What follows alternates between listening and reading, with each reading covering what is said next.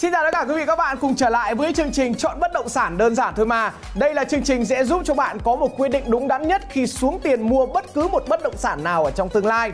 Và tiêu chí chung khi mà chọn bất cứ một bất động sản nào cũng sẽ gồm có 6 cái và 6 cái này đó là tổng kết của thế giới người ta đã đúc kết lại rồi. Đó là pháp lý, cái thứ hai là vị trí cái thứ ba là tính năng sử dụng cái thứ tư là về giá cái thứ năm là thanh khoản và cái cuối cùng thì đó là hạ tầng. Và trong số trước thì chúng ta đã biết được à, ba uh, cái đầu tiên. Và số này thì uh, mình xin chia sẻ với mọi người ba cái tiêu chí còn lại.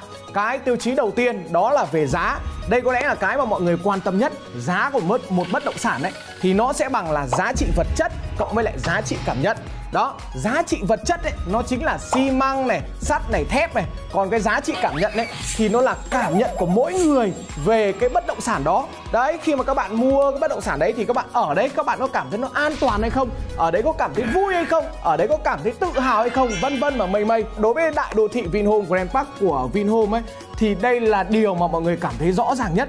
Cái giá trị vật chất thì nó quá ngon, cái này không cần phải bàn nhiều nữa rồi. Chỉ cần nhìn qua thôi là mọi người đã có thể hiểu còn cái giá trị về cảm nhận ấy thì các cái dịch vụ này các cái tiện ích ở đây nó là đã, đã quá là thương hiệu rồi. An ninh thì là bố của tốt ra vào là không thể nhộn nhạo được đúng không? Dân cư trình độ dân trí thì cao xong rồi đông vui như tết ấy. chưa kể nhá là mua nhà ở đấy xong nhá đi đâu nói chuyện cũng cảm thấy tự hào.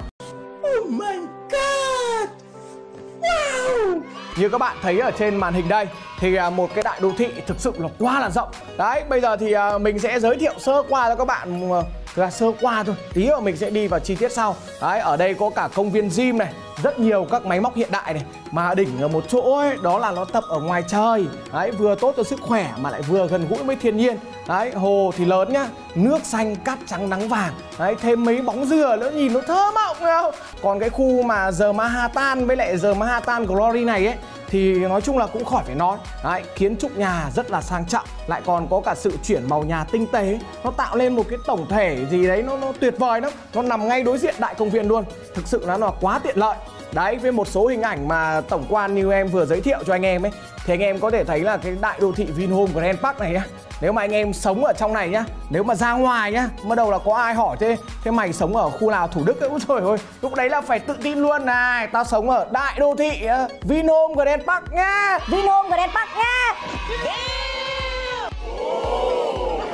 Đấy, nghe thôi nhá Thằng đối diện lác hết mắt rồi. Đấy, chứ còn ông ở chỗ khác xem. Ai hỏi là thế mày ở chỗ nào Thủ Đức ấy. Ui rồi bắt đầu lại phải diễn tả loáng ngoằng. Tao ở cái chỗ chung cư ABC này Làm trên đường XYZ này. Mày đi vào khoảng à, 500 mét. Đấy, mày thấy cây xăng nhá. Xong rồi mày rẽ phải. Đấy, thì nó nằm ở cuối đường. Ôi rồi, ông thấy không? Tả hết cả hơi luôn. Tả thế thì ai muốn nghe nữa đúng không? Đấy cũng chính là lý do ấy mà tại sao là cái giá nhà tổng thể của Vin nó luôn cao hơn mặt bằng chung. Đấy thế nhưng cái quan trọng là chia ra trên từng mét vuông ấy thì lợi ích mà mình được sử dụng ấy nó lại rẻ hơn rất nhiều. Đấy chính vì thế mà nhà của Vin nói chung là cứ mở bán ở đâu là đắt như tôm tươi đấy.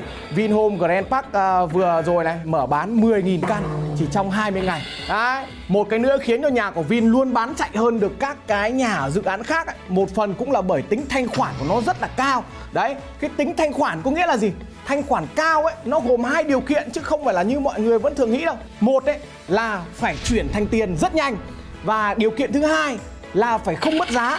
Đấy, nếu như mà chỉ đáp ứng được một trong hai điều kiện đấy thôi thì không bao giờ một bất động sản được gọi là thanh khoản cao. Đấy, giờ ông bảo là em, nói thật anh nhá, em vừa mua được hai quả núi ở kia kìa. Ui, rộng tận 2 hecta, rẻ lắm. Có 500 triệu thôi. Đấy, thế nhưng mà cái quan trọng ấy là thanh khoản của nó có cao hay không thì nó lại là một chuyện khác đấy đầu tiên nhá là chuyển thành tiền có nhanh hay không? À, hay lại lại nói chung là phải 8 năm sau mới bán được hai quả núi đấy. Ui ôi đang cần tiền gấp.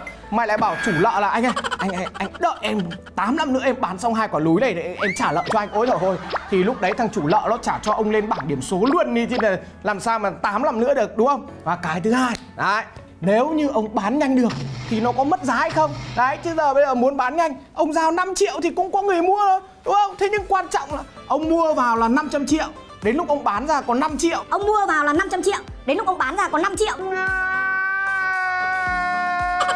còn gọi gì là đầu tư nữa đúng không? Đấy chính vì thế ấy, mà nhu cầu người mua nhà Vin rất là cao bởi vì là cái tính thanh khoản là cái bất động sản đấy nó rất là tốt. Đấy cần tiền nhá bán phát được luôn. Và quan trọng ấy là nó vẫn giữ được giá. Đấy cụ thể là cái tính thanh khoản hiện tại của các dự án bên trong đại đô thị Vinhome Grand Park như nào ấy thì là có lẽ cái này mình sẽ hẹn gặp lại các bạn ở trong số thứ ba thì trong số đấy thì anh em sẽ à, được gặp gỡ với lại bên đại lý phân phối các sản phẩm của Vinhome. Thì anh em sẽ hiểu rõ hơn về cái tính thanh khoản này.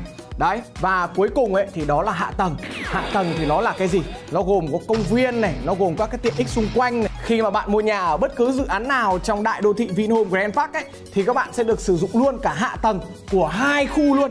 Tức là vừa được sử dụng tiện ích của căn hộ nhà mình nhá Vừa được sử dụng cái tiện ích của toàn đại đô thị. Đấy, tiện ích của toàn đại đô thị này thì nó để mà nói là lòi với anh em mà lòi lòi về cái tiện ích hai ngày không hết được.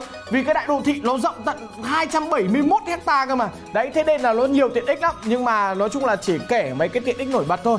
Đầu tiên nó là công viên nó rộng 36 hecta. Đấy ông chồng nào mà hay bị vợ đuổi thì thực sự là chỉ cần chạy quanh công viên này thôi.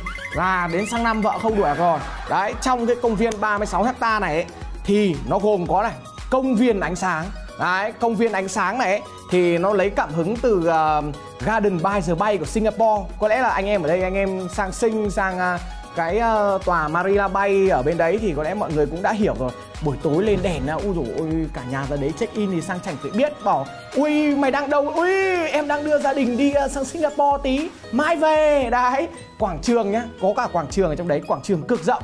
Anh em có thể đạp xe thả diều thoải mái. Đấy có cả chỗ nướng BBQ có bãi cát trắng nhân tạo giống hết như ở biển. Bãi cát này á, nó trải dài một km cơ và cát đấy nó là cát thật. Nó cát được chuyển trực tiếp từ nha trang về chứ không phải là cát nhân tạo đâu. Thế nên là anh em cảm giác nó rất là thật như kiểu đi biển thật luôn á. Và ngoài ra ấy, thì nó còn có cả công viên gym tiện ích nữa cơ. Đấy anh em là không cần phải vất vả đến phòng tập vừa bước chân ra khỏi nhà cái là có thể tập luyện hít thở khí rời luôn. Chứ không phải kiểu là vào phòng gym xong mới đâu lại còn tập uh, bật điều hòa lên đẩy tạ. Thì thực ra đó nó, nó chối tỉ lắm. Đấy và có khu câu cá này.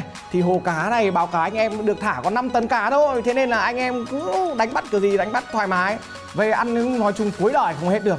Và đấy là cái, những cái sự chăm sóc về à, nhu cầu của cư dân ở trong à, đại đô thị Vinhome Grand Park Vâng, đó là những ưu điểm mà mình nghĩ rằng là có thể làm được hài lòng tất cả các thành viên ở trong gia đình. Nếu mà cuối tuần không biết đi đâu thì các bạn có thể ra bãi cát phơi nắng, đấy, đi câu cá hoặc là tổ chức tiệc nướng mà không cần phải tốn thời gian di chuyển gì cả. Nhà rộng mấy thì rộng nhá. Nếu mà không được ra ngoài ấy thì đây, nói chung anh em biết rồi, nó cuồng chân cuồng tay lắm. Cứ ở nhà cách ly khoảng tầm 7 ngày thôi là biết ngay mà. Đấy, nhất là nhà nào có trẻ nhỏ nhá. Ui dồi ôi, không có chỗ mà cho bọn nó chơi bọn nó chạy nhảy trong nhà cho thì váng hết cả đầu. Chưa kể là hàng xóm xung quanh người ta còn sang người ta còn chửi nữa cơ. Đấy thế nên là cái đại công viên này ấy, nó là một cái quá là tuyệt vời mà để cho người lớn cũng như là trẻ nhỏ có chỗ ra đấy chạy nhảy nô đùa thay đổi không khí. À, trẻ con cũng vui hơn mà người lớn nói chung cũng đỡ mệt mỏi hơn. Ngoài ra ấy, thì trong đại đô thị Vinhome Grand Park này ấy, thì còn có luôn cả bệnh viện này trường học này trung tâm mua sắm. Nói chung là chăm sóc cư dân đến tận chân răng.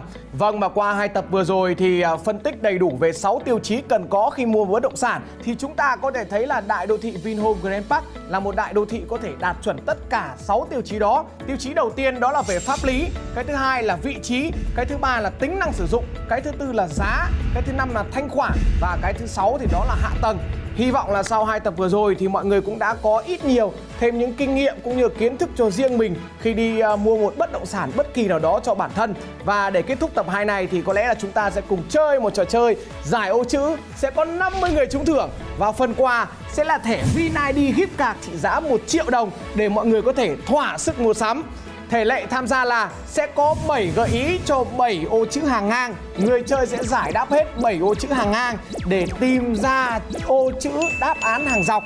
Và người chơi tham gia giải ô chữ cũng như là gửi về cho chương trình bằng cách là comment trực tiếp đáp án vào tập 2 ở trên fanpage chính thức của Vinhome Grand Park theo cú pháp. Đó là họ tên này, đáp án này và ba con số may mắn.